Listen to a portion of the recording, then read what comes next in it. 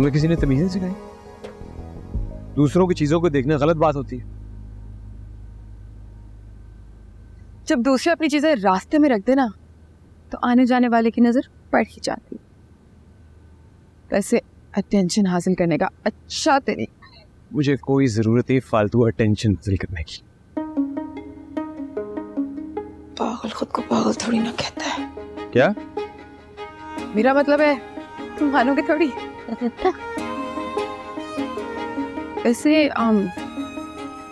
Choice तो अच्छी है तुम्हारी। तुम्हारे जैसे सड़ियल इंसान से एक्सपेक्टेड नहीं था। ये जो तुम्हारे खूबसूरत ख्याल है ना मेरे बारे में। उनका इजहार करने से ना अवॉइड किया करो। क्योंकि जवाब मैंने कुछ कह दिया ना तो तुमसे बर्दाश्त नहीं होगा।